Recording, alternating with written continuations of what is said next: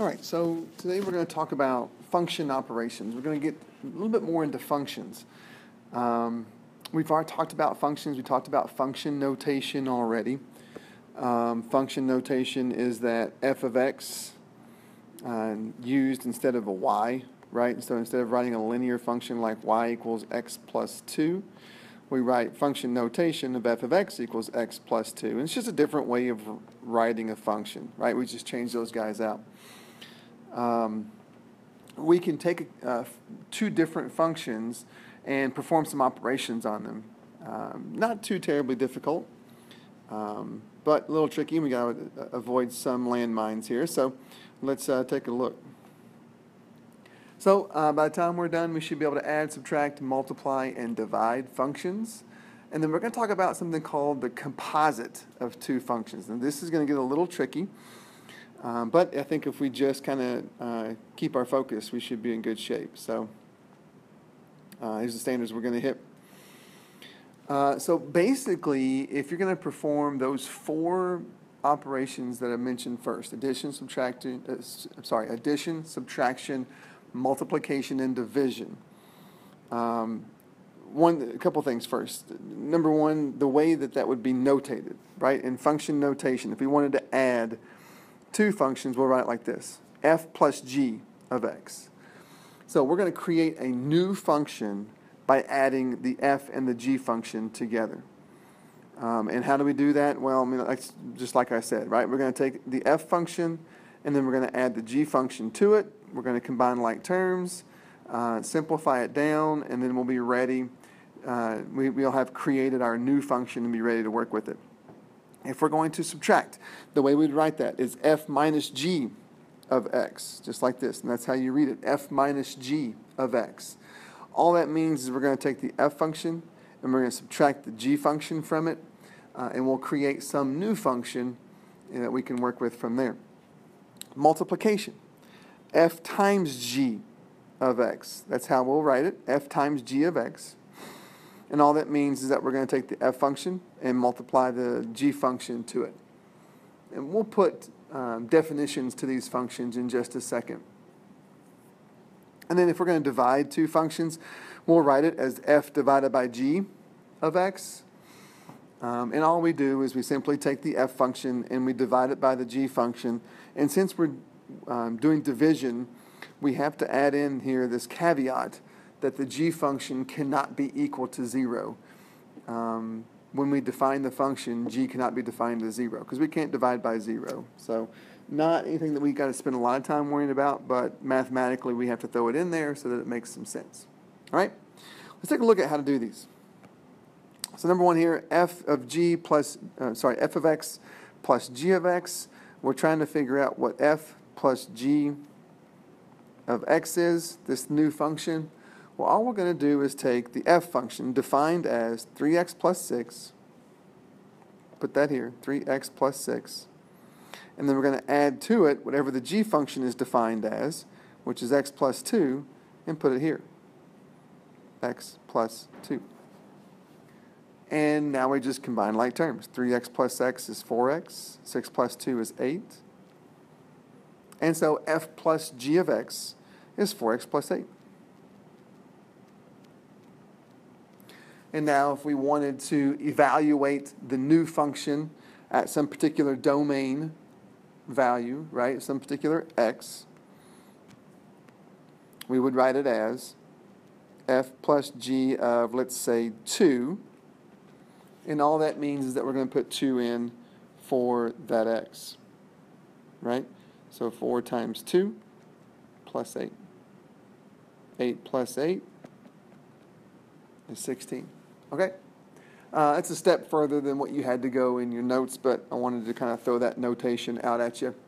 Just to remind you, we did uh, a little bit of this function notation with our piecewise before, but just a reminder. Okay? Um, so you go ahead and try. Um, h of x plus k of x, we want to come up with h plus k of x. Give that a shot. Stop the video, and you can start it back up and make sure that you're thinking about this correctly. Okay, so all we had to do was take the eight, uh, h definition, which is x plus 2, and add to it the k definition, which is 2x squared plus x minus 3. Did I read that first one as x plus 2? So h is obviously x squared. So x squared plus 2x squared plus x minus 3. Sorry if I did that. Then we're just going to combine like terms. We've got like terms here. 2x squared and x squared gives you 3x squared. No like terms for the x, so it just stays x. And same for the negative 3. So h plus k of x is 3x squared plus x minus 3. All right? Um, h of x minus f of x, right? We've got these four functions here. We're going to take h and subtract f from it.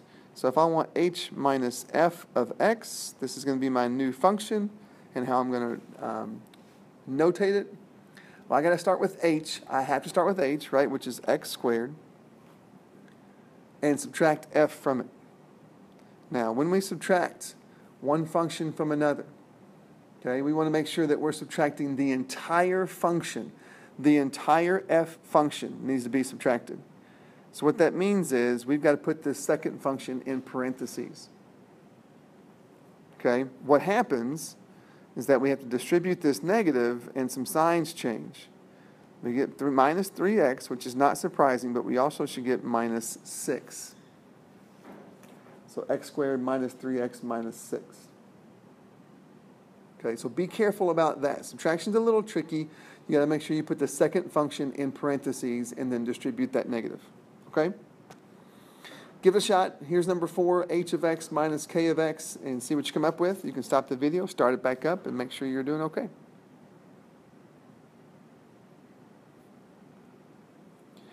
Okay, you should have gotten for h minus k of x. We start with h, which is x squared. And then we're going to subtract from it all of the k function, which is 2x squared plus x minus 3. Again, we got to make sure we put that in parentheses so that we can distribute this negative to all three of these. And we get x squared minus 2x squared minus x plus 3. We combine these two like terms and we get negative x squared minus x plus 3. Okay?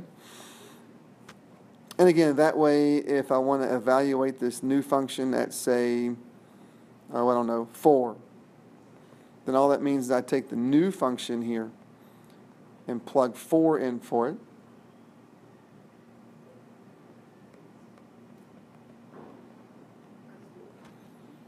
Uh, remember that we're going to keep that negative um, out front. So we're going to square the 4 and get 16, and then get negative times the 16, get negative 16, minus 4 plus 3. Negative 16 minus 4 is negative 20. Negative 20 plus 3 is negative 17. Okay? So no problem. All right, uh, multiplication. If we're going to multiply two functions, okay, we're simply going to take if we want to find what f times k of x is, this new function, we're going to start with f, so 3x plus 6. And since we're multiplying, and some of these guys have more than one term, I'd go ahead and put these in parentheses. 3x plus 6 is the definition of the f function, and the definition of the k function is 2x squared plus x minus 3. Now the parentheses are going to help because hopefully the parentheses um, trigger to you that we've got to double distribute, right? So we're going to distribute the 3x here and then distribute the, uh, the 6 here. And so we end up with 3x times 2x squared is 6x to the third. 3x times x is plus 3x squared. 3x times negative 3 is negative 9x. And now distribute through by the 6. 6 times 2 is 12x squared. 6 times x is 6x. 6 times negative 3 is negative 18. And now we have a bunch of like terms that we're going to want to make sure we combine.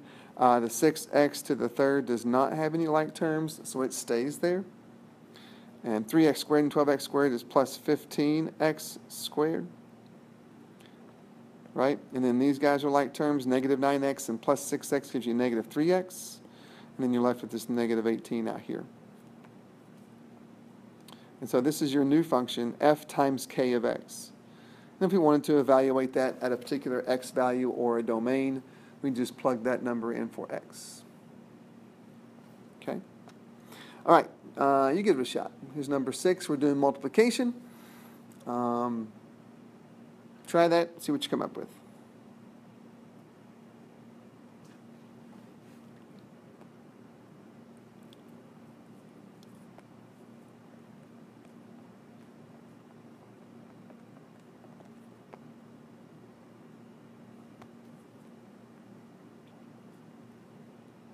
Okay? So h times g of x. We want to take the h function, which is x squared, and multiply that times the g function, which is x plus 2. So we want to make sure we distribute the x squared here and here. x squared times x is x to the third. x squared times 2 is 2x squared. No like terms, and so we're done. Okay, and again, if we want to evaluate that for a particular x value, and I know this is not necessarily in your notes, but if we were to write this notation, h times g of 1, that just means we want to plug 1 in for x. So 1 cubed plus 2 times 1 squared, 1 plus 1 squared is 1 times 2 is 2. So 3. So for an input of 1 into this new function, we'd get an output of 3. Okay? Now, the trickier one here is something that we call, uh, that we call composite functions. We're going to uh, perform the composition of functions. For example, the notation here first uh, would look like this. Notice that this looks a little bit like multiplication, only it's an open circle instead of a closed circle. And that open circle we read as composed of. So we want to know what g composed of f of x is okay? And this notation might help a little bit. What that means is we're going to take the f function and we're going to put it in for the x of the g function. So we're going to evaluate f of x first, and then we're going to use that value as the input for the g function. All right? Let's just get to one and see if we can make it make sense. All right? So if I want to know what A composed of B of 2 is, okay, another way to rewrite this is I want to know what A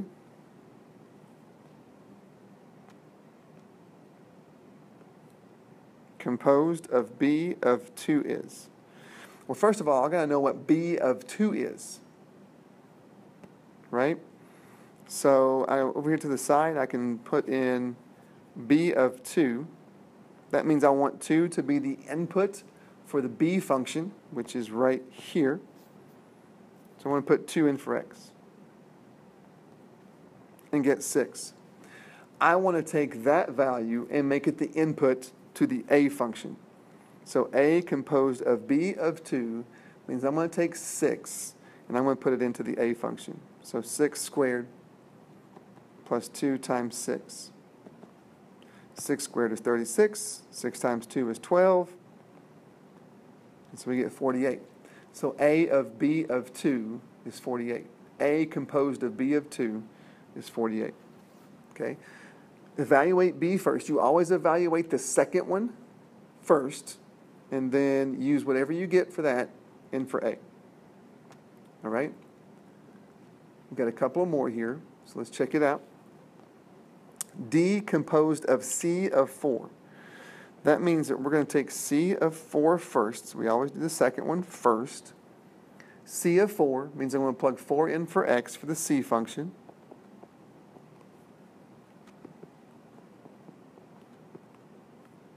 And then work it out. 4 squared is 16. 6 times 4 is 24. We get 32 minus 24, which is 8. So C of 4 is 8. That means I'm going to take 8 and make it the input for the d function. The d function is 2x minus 8. So I take 2 times 8 minus 8. 2 times 8 is 16. 16 minus 8 is 8. And so d of c of 4 is 8. Okay? Uh, number 9 in your notes, b of c of negative 3. Give that a shot and see what you come up with.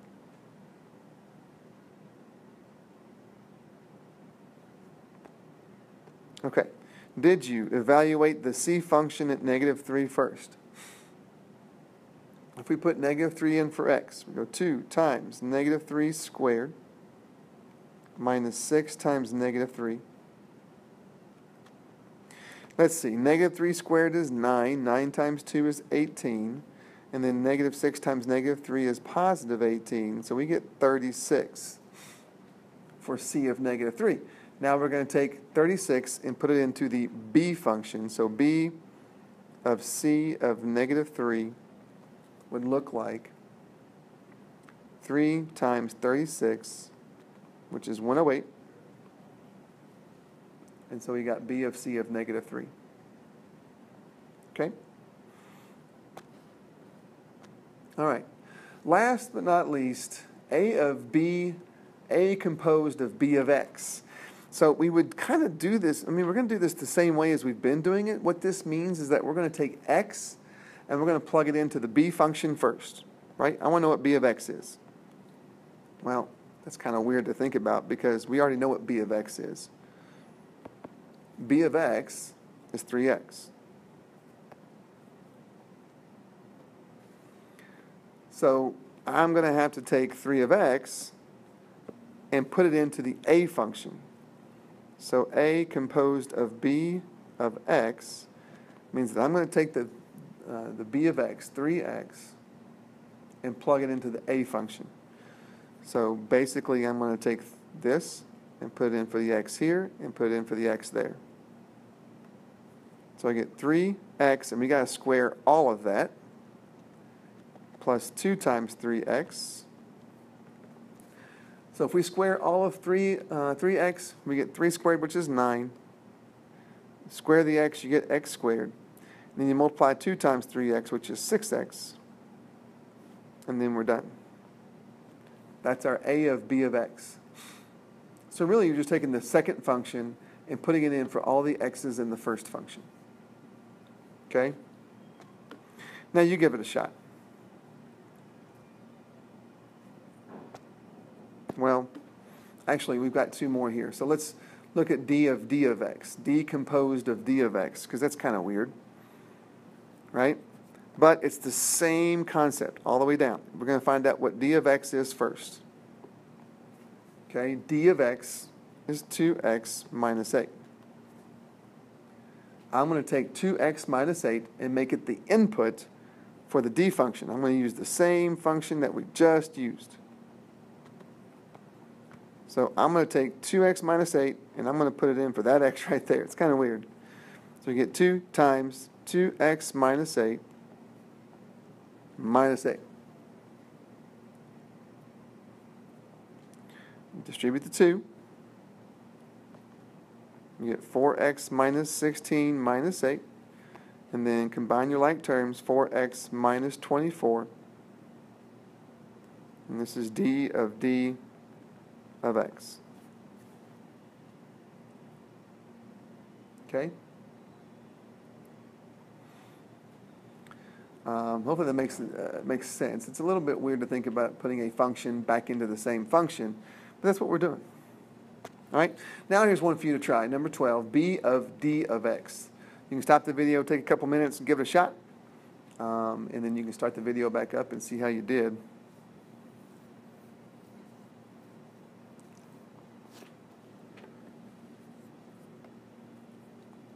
Okay, b of d of x. Again, that means we're going to take d of x, 2x minus 8, and put it in for the x in the b function. So I'm going to take 3 and multiply it by 2x minus 8. Distribute that 3, you get 6x minus 24, and you're done. That's it. Okay? Hopefully that makes enough sense. Your homework's out in Canvas. Make sure you get that done by next time, and we'll take any questions you have next time as well.